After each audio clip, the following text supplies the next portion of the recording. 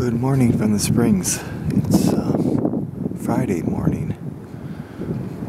Might be the 21st, and I'm looking at the brush piles that Andy Bookta made where we left off cutting on, uh, I guess that was uh, Friday or something, I can't remember. Wednesday? Tuesday?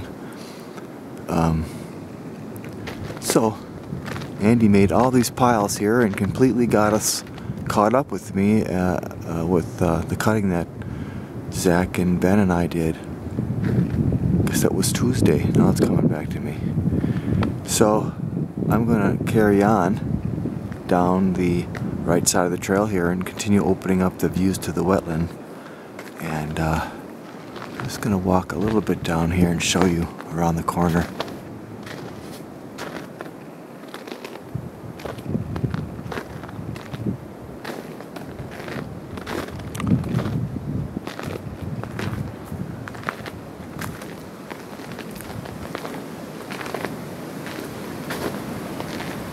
So this is the the eastern boundary of that wetland, and I wanna, I'm going to uh, open up this view today, and it's just going to be fantastic. Um, the Buckthorn Alley continues down this way, but it's a it's a lot less dense than what we've encountered to this point, so we're we're very close to the end of it here.